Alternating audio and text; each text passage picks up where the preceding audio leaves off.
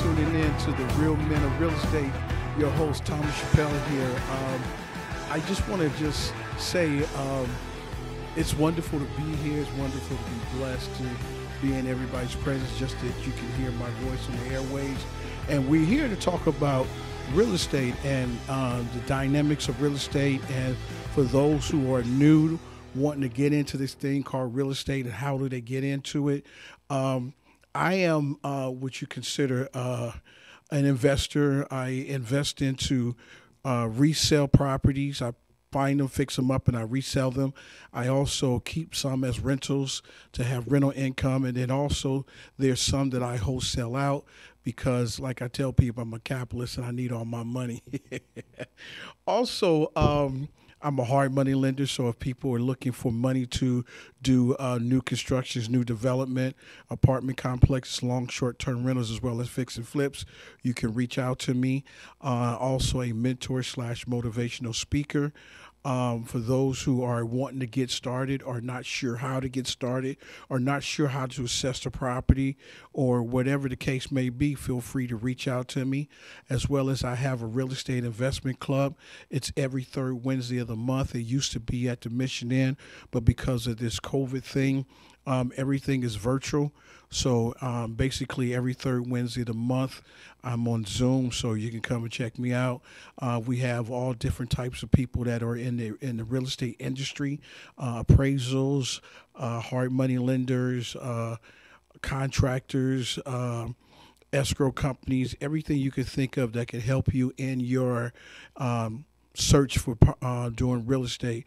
And then also um, here I have this radio show and I'm also giving our people opportunities to be able to find out what this thing real estate is all about. I mean, a lot of people are wanting to reinvent themselves basically because of what's going on in the economy and the way the job market is and and it's a good thing to be able to want to start your own business and whatnot and be able to be in control of your own funds. A lot of people want to know how does it work for them? And the biggest thing you have to understand why? Why would you want to get into this kind of a, a environment? Um, why do you actually uh, do the things that you do on a regular basis. You always got to have a why in the things that you do in order for you to accomplish. And then you have to turn around and be with like minded people to understand hey, I can really do this. I mean, everybody says it's a mindset, and the people don't understand that mindset is you wrapping your mind around doing something that you have no idea what you're doing.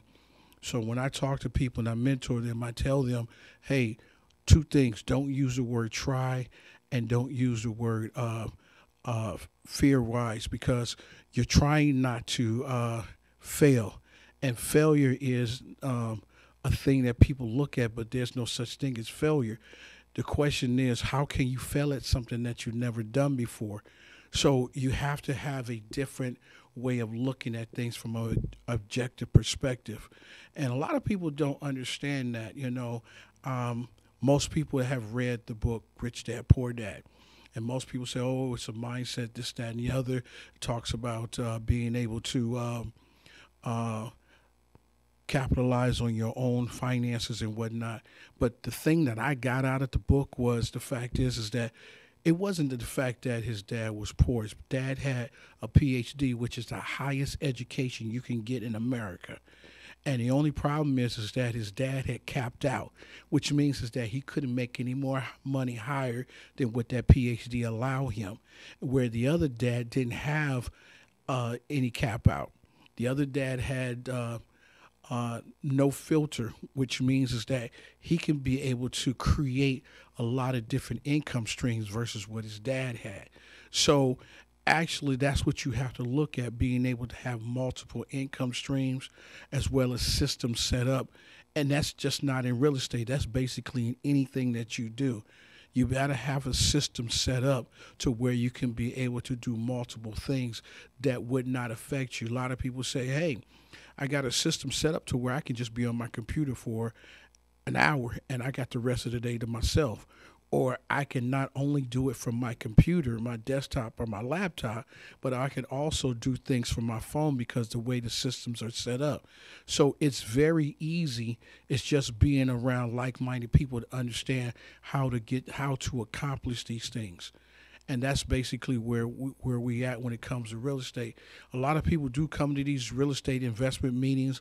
A lot of them don't stay because some of them feel like, okay, I'm seasoned enough. I understand. I think I got it. Or, you know what, these guys are not telling me the truth, and I'd rather just go somewhere where I can just pay for my education. Well, sometimes when you pay for these education things, they don't work out. They just want your money and then they leave you holding the bag, basically saying, "Okay, go figure it out." Yeah, they give you the workbooks and all the different material that you need, but if you're not understanding what it is you're doing, it sounds Greek. So it end up being one of those things that you leave on the shelf that collects dust because you really don't want to fool with it because you want it to be instantaneously instead of me have to go ahead and figure this out and work it out and so forth and so on.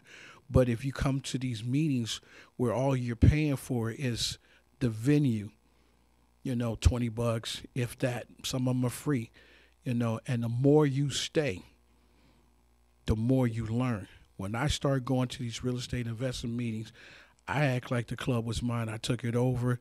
I introduced myself to everyone. I told people, hey, why are you sitting down? Get up off the seat, you know, come and mingle. And I introduced them to the um, to the organizers of the meetings. And the organizers of the meetings took notice of that and ended up taking notice of that and I ended up getting a real estate investment club out of it. Wasn't looking to get one, but it happened that way because I took the initiative. I showed up every day. Not only did I show up every day, I started doing things and people took notice and started saying, Hey, I would love to help you out versus me sitting there trying to figure it out myself you know, and that's the whole point. You know, you have a community that's willing to help you get where you need to go. We don't want your money, we want your brain.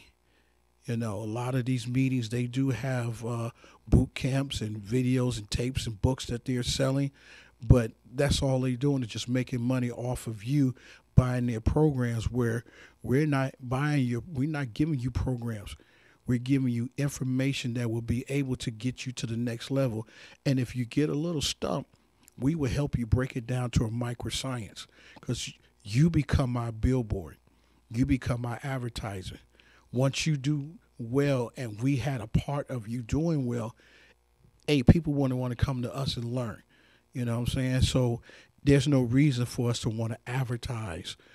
I mean, not advertise, but there's no reason for us to want to charge you for the knowledge. We'd rather give it to you. Sometimes people get knowledge and they don't do nothing with it when they get it for free. Sometimes people get it and they pay for it and they get it. It just depends on the individual. So the thing of it is is that you want to be able to understand what it is you want to do with your life. How can you reinvent yourself? How can you make yourself better? You know, and the one thing is is understanding what your why is. Why did you get up this morning? Why did you take a shower? Why did you brush your teeth? Why do you live in the house you live in? Why do you drive the car that you drive? You know, once you understand your why, then certain things get into perspective and make you understand, hey, I can do anything I put my mind to it. My biggest why was is that I was a single dad. You know, I raised my son since he was six months old. So it gave me the ability to be in his academic life, you know, that I was there every step of the way. Now that he's 18, going on 19, you know, letting him live his life. But the other thing was I was there to help guide him in his academic career, and that's what I wanted. You know, all the different sports that he played, all the different activities that he had in school, I was there because I know that my mother couldn't be there for me because she worked a lot.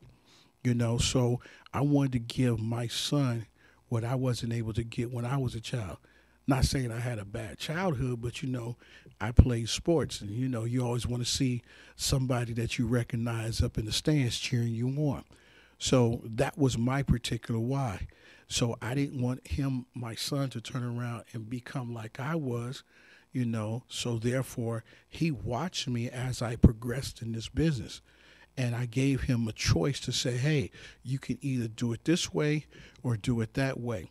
But what what the thing is is I will support you no matter what it is that you want to do within reason, you know. So um, we're sitting here waiting on our guest to arrive. We're doing a virtual um, uh, interview, and we're just waiting for him to arrive. So I'm just going to sit here and um, see if people want to call in and, and let's chat. Uh, the local number here is 909 792 5222. Once again, that's 909 792 5222. Or the toll free number is 888 909 1050. Once again, that's 888 909 1050. I would love to hear some of you guys' ideas and comments um, until our guest arrived that uh, you have any questions or anything on real estate. So um, let's let's talk about um, real estate investment clubs. Why are they relevant? Well, they're relevant because the fact is is that when somebody wants to reinvent themselves and they're not sure how to get started, here you are dealing with like-minded people. Some are in the same position that you're in that would like to get started and not sure how to. You have some that's seasoned, that's been doing it for a while, that can nurture you to get started. You know, and the thing of it is, is that there's no I in team. So the point is, is that you need someone to help you out to get where you want to go because they have done it. You know, they had some some roadblocks that they had or some challenges that they had to meet and whatnot. So that's one of the things we're looking at. So the whole thing is is that this is why these clubs are really irrelevant. I got started not sure what I'm doing and what I need to do. So I started going to these clubs and these clubs saved me. So hold on, we got a call real, real quick. So hold on.